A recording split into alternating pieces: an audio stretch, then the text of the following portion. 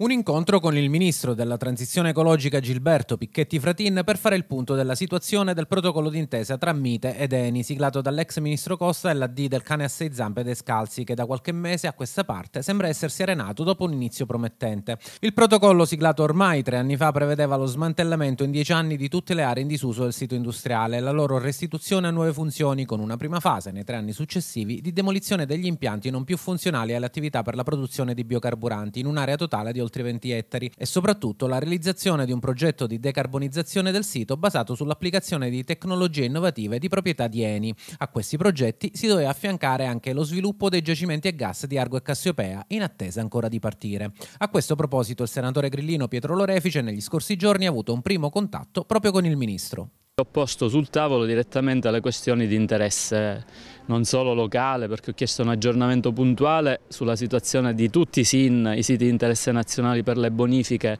di tutta la Sicilia e poi su Gelo ho chiesto nel dettaglio un aggiornamento di quello che è stato il protocollo d'intesa firmato dall'allora ministro Sergio Costa con l'AD di Eni Descalzi.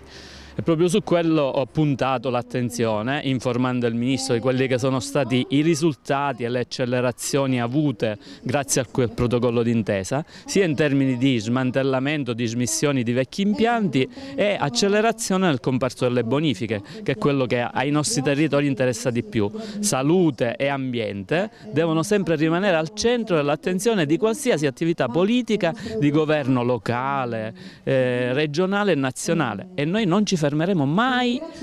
nel mettere la massima energia affinché questo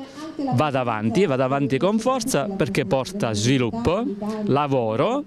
e nel contempo tuteliamo quella che è la salute dei cittadini, dei nostri elettori perché anche quello e l'ambiente non lo diciamo noi, perciò cambiamenti climatici, il grande obiettivo dell'Unione Europea al 2050 per qualcuno sembra lontano, ma abbiamo gli obiettivi al 2030 e al 2035, lavoriamo assieme per raggiungerli. Il senatore Grillino torna anche sulla situazione delle bonifiche delle aree esterne al perimetro industriale che ad oggi gravitano intorno a poco più dell'1% degli interventi realizzati. Anche su quello stiamo spingendo, io sto continuando un'interlocuzione serrata con la regione siciliana, lì abbiamo avuto la sfortuna che nella fase iniziale come soggetto attuatore è stato individuato il comune di Gela che ci ha fatto perdere oltre un anno di tempo.